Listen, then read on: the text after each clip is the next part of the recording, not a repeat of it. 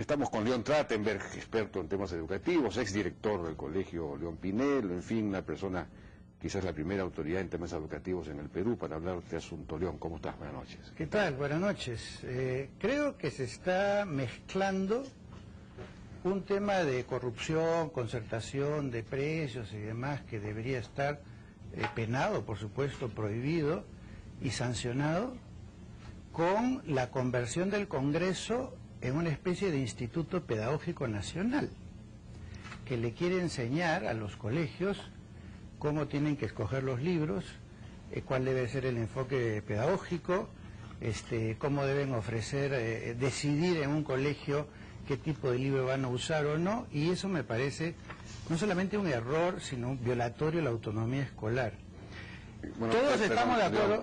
Te estás refiriendo a este proyecto de ley que hoy día ha sido aprobado, entiendo, en, la primera, comisión, primera lectura. En la comisión permanente del Congreso, ¿no? en, una primera eh, sí, eh, ronda. Y efectivamente quizás podemos resumir rápidamente qué es lo que establece, que las instituciones educativas, públicas y privadas, están prohibidas de obligar a los alumnos o a los padres de familia a adquirir textos escolares nuevos o de primer uso o que estén diseñados para un solo uso no entiendo bien a qué se refiere. Se refiere a que si un eh, a que el libro que usa una, una persona pueda ser usado al año siguiente por el hermano, un amigo, un conocido. Eso debería estar permitido, lo que dice acá. No, eh, debería estar permitido, pero más bien lo que están haciendo es prohibiendo que no sea así. Es decir, se prohíbe comprar un libro que no pueda ser vuelto a usar.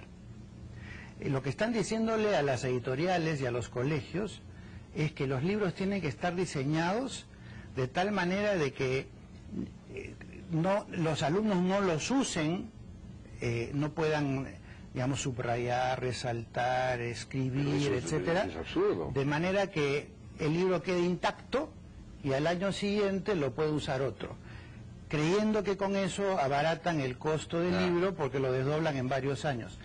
Y este, además de ser un, error este, en, tema didáctico, nace de un error del, del gobierno, el Ministerio de Educación. ¿Por qué? El Ministerio de Educación les da libros a los alumnos de la escuela pública con la condición de que el niño los devuelva a fin de año. Es decir, ni siquiera un libro que cuesta cinco soles se le entrega a perpetuidad al niño y entonces se cometen varios errores. Primero, el niño tiene miedo de malograrlo, entonces no lo usa. Mm. En segundo lugar, se pasan las clases, los que usan los libros, copiando del libro los, los, textos, las preguntas, los párrafos, al cuaderno para no malograr el libro. En tercer lugar, el alumno, digamos que termina el año, tercer año de matemáticas, devuelve el libro y al año siguiente, si tiene que consultar algo el año anterior, ya no puede porque ya no tiene el libro, lo tuvo que devolver en lugar de que el Estado aproveche para decirle a los niños, tomen estos libros y vayan armando su biblioteca en su casa, con el único libro que a veces tiene Porque cada año el Estado de todos modos sigue dando los libros. Pero les exige que devuelvan los libros. ¿Qué hacen con los, libros devueltos? Se los dan al siguiente, o sea, producen libros para que se usen cuatro años eh, por los alumnos del mismo grado que van entrando año a año. Ah, o sea que pues, el ministerio no da libros No, lo que le da son solamente cuadernillos de trabajo, pero no los libros de consulta. Ah, Entonces, ¿qué ocurre? Le están pidiendo a los niños que se comporten de una manera como ningún adulto se comportaría. Por ejemplo, cuando tú haces tus notas o tú lees un libro de consulta, no hablo de una obra literaria que quieres leer una sola vez, un libro de economía, un libro de historia, ¿qué haces? Usas tu resaltador, rayas, notas al margen, de manera que el día que quieras consultar el libro nuevamente ya sabes a dónde está lo principal. Prohibido. El niño no puede tocar el libro porque si no tiene que pagar el daño causado y lo tiene que devolver intacto. Entonces, este error que arranca en la escuela pública, quiere trasladarse ahora a la escuela privada. Pero supone que, claro, me imagino que eso supone pues más, más presupuesto, si queremos. Está bien, pero si estamos hablando de inclusión, estamos hablando de niños de la escuela pública que no tienen acceso a ningún libro de ningún tipo. ¿Qué significa darle un libro de cinco soles por, digamos que sean cuatro cursos, 20 soles, para que formen la biblioteca personal de ese niño y que sea parte del presupuesto de educación? Yo no veo realmente que con todos los presupuestos que hay en educación no poderle dar un libro a un niño para que pues. se quede con él.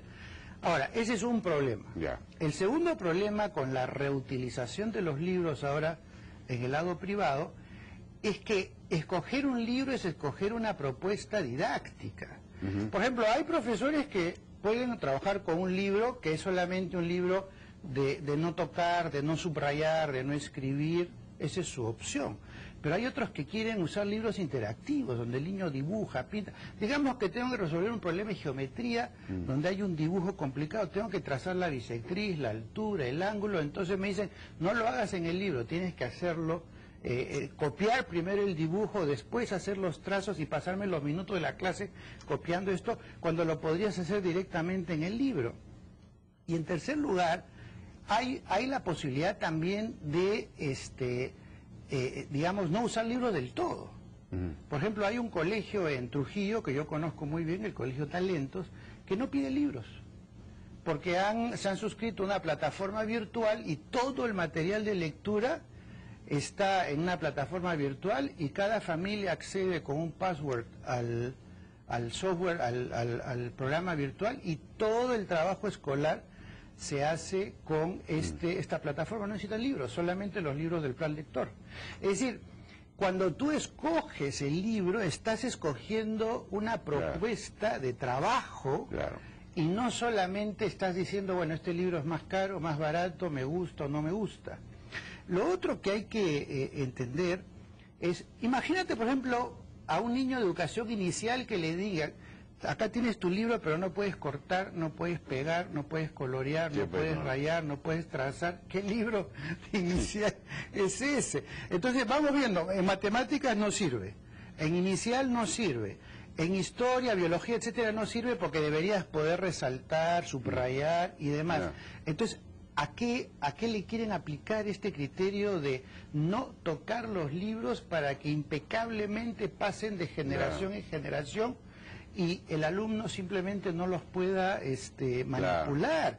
Entonces ahí hay un tema que me parece que, que no se está entendiendo porque se está planteando solamente una cosa muy populista, muy propia de febrero, el mes de las pensiones escolares, los útiles y todo, y para sancionar prácticas corruptas que deben ser sancionables, se entra a la propuesta pedagógica del centro educativo. Ahora resulta que el proyecto de ley también plantea que van a ser los padres, los profesores y los directores los que van a escoger los libros. ¿Qué saben los padres de escoger libros? Y por otro lado, el colegio es el ofertante del servicio.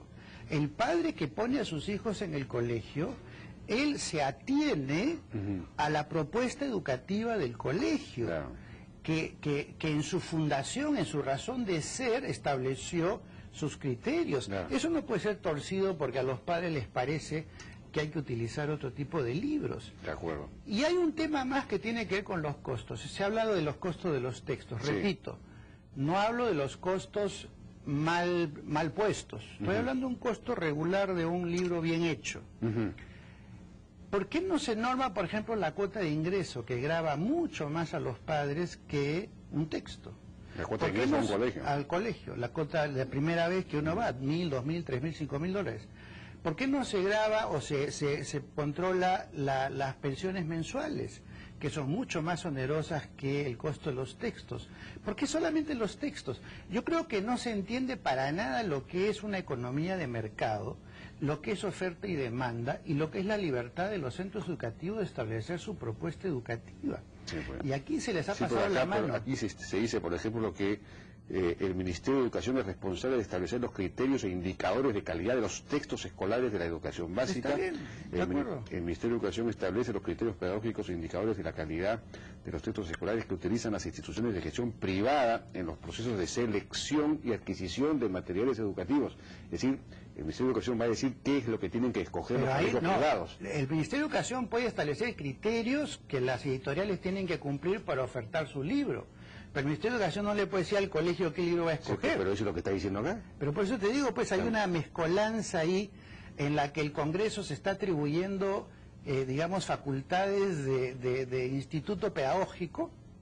Se está atribuyendo facultades de control de, de decisiones autónomas de los colegios a las que tienen derecho por libertad de enseñanza ¿Y todo por qué? Por un populismo que solamente se queda en una cuestión de ver si cobraron 20 soles más o de menos en lugar de ir a perseguir a los que se han coludido, a los que han cobrado de más y dejar tranquilos a todos los otros que son correctos.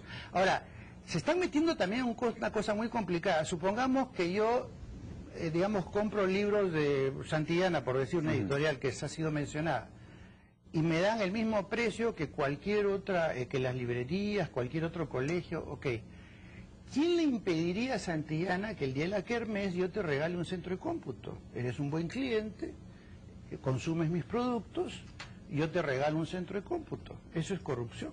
No, por supuesto que no, pero eso está metido en el precio. Pero por eso te digo, o sea, ¿cómo van a controlar cualquier gesto de una institución que queriendo crear lealtad de sus clientes, decide donarles algo, regalarles algo, es decir, ¿cómo van a controlar, cómo van a definir si eso es corrupción o no es corrupción? De acuerdo.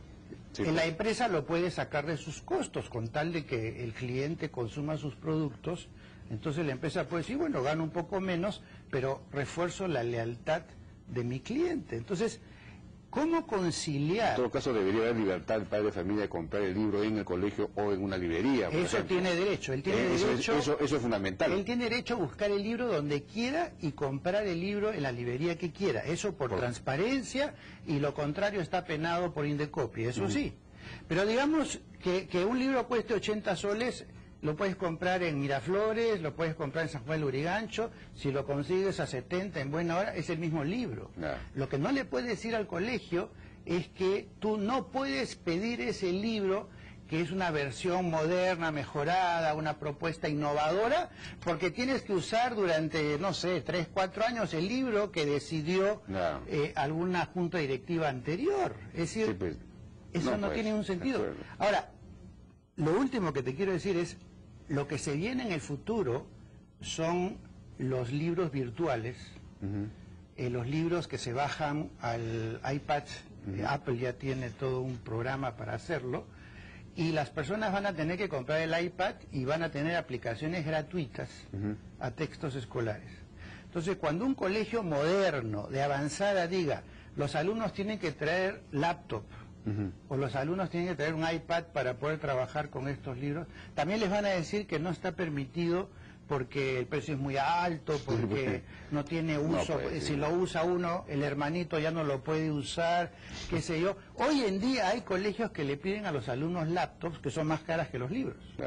O, mañana van a haber colegios que van a pedir iPads para trabajar con los libros digitales también les va a decir este el pues, Congreso, ustedes no pueden pedir eso porque nosotros tenemos que ser los últimos en el mundo en educación. Así, así funciona la, educación pues, peruana. esos intervencionismos que resultan contraproducentes, ¿no? Porque en el fondo están atacando la calidad de educación, como El colegio debe tener la libertad de plantear la propuesta educativa, incluyendo materiales, textos y demás que considere adecuado, y el padre comprará donde crea correcto comprar pero no se puede meter el Congreso en las propuestas educativas del colegio. Repito, no estoy avalando para nada las prácticas corruptas. Eso hay que denunciarlo, sancionarlo, hacer lo que quieran. Pero hay empresas que no trabajan con prácticas corruptas, hay colegios que no se prestan a eso y no tienen por qué reglamentarles qué tipo de libros pueden pues, escoger y bajo qué condiciones. Totalmente claro. Ojalá que el Congreso entonces reflexione y dé marcha atrás en este despropósito, en buena cuenta. León, muchas gracias por tu participación, siempre tan clara.